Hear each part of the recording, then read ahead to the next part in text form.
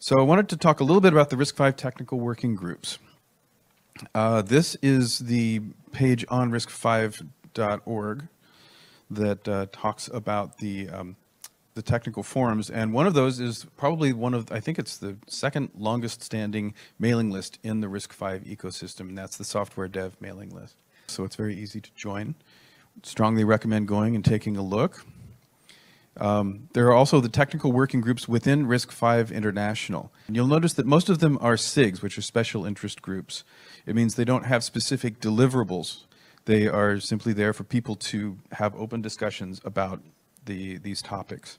You know, there are so many technical working groups within Risk Five.